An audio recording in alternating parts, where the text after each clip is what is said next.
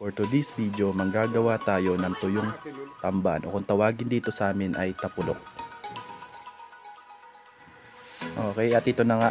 Siyempre, una sa lahat, hugasan natin yung isda o yung tamban para matanggal yung mga dumis na nakadikit sa kanyang kaliskis.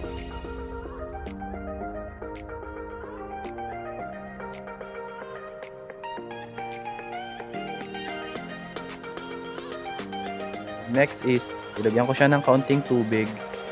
Yung sakto lang. And nilagyan ko na siya ng kaunting asin.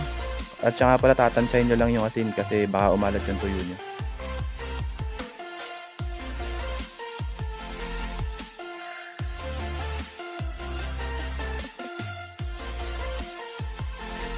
Yun, binabad ko siya ng nasa 2 hours para hindi siya masira o pumaho.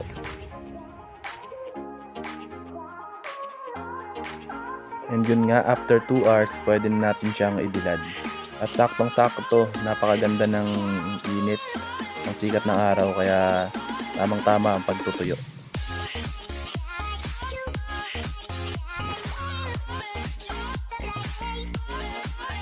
At siya nga pala, kailangan natin gandaan siya ng hanay. Hindi siya kailangan magpatong-patong kasi para pantay yung pagkakatuyo sa kanya.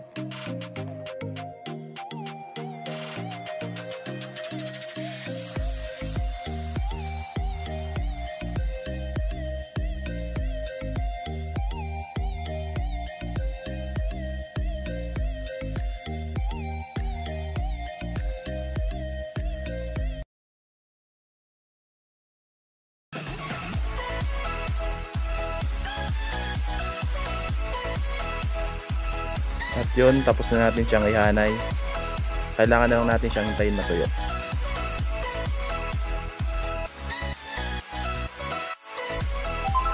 And yun nga, after 2 days, pwede na natin siyang kunin o pinawin.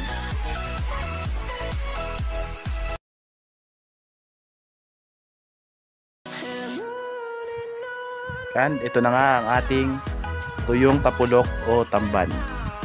Thank you for watching. See you next time.